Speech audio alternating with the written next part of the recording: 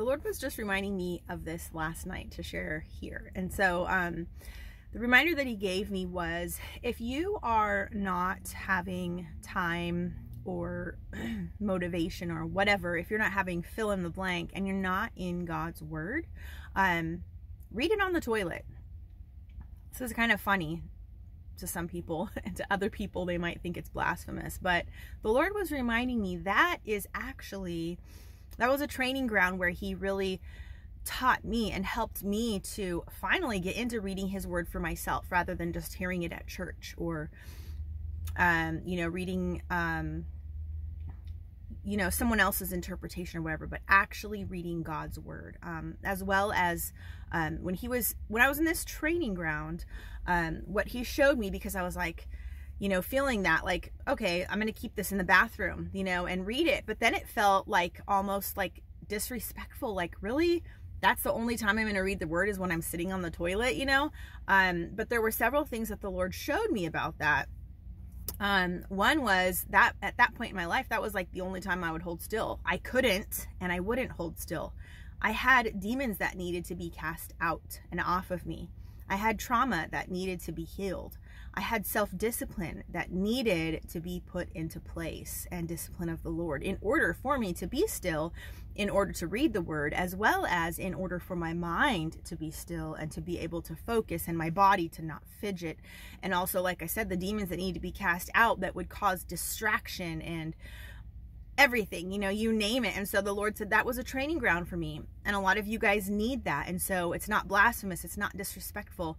Number one, God made our body, so He made our plumbing system, okay? Um, number two, um, here's the two choices. If you're not reading God's word at all or reading God's word while you're sitting on the toilet, okay?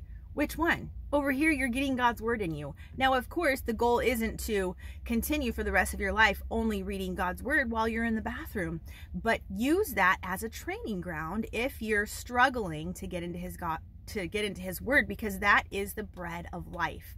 Um, that is the water of life. We need to be ingesting that. And so, um, leave if you have a devotion book that you're reading that's okay to do too but don't do that over the word. If you're doing a devotion book i would say um, do a little bit of the word. And again when you first start reading your flesh is fighting so hard. And also if you have demons that need to be cast out you can't do you can't do a behavioral modification with demons. So you can cast them out. You can command them to leave or have someone else do that for you if you're coming up against that because you can't do behavior modification with the demon. So um, get those things in order and ask the Lord for the blueprint. Lord, how do I do this? How do I get myself into your word so I can be healed, delivered, strengthened? Okay, that is how you grow. That is how you overcome sin. That is how you overcome your own flesh, sin nature. That is how you overcome the enemy and every enemy that comes up against you. So,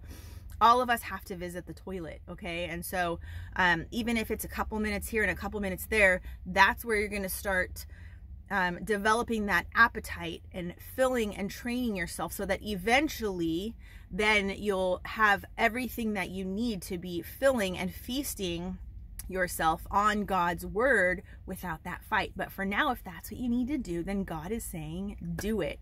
Leave it in the bathroom give it a special shelf and take that time to get your daily bread in Jesus' name. Amen.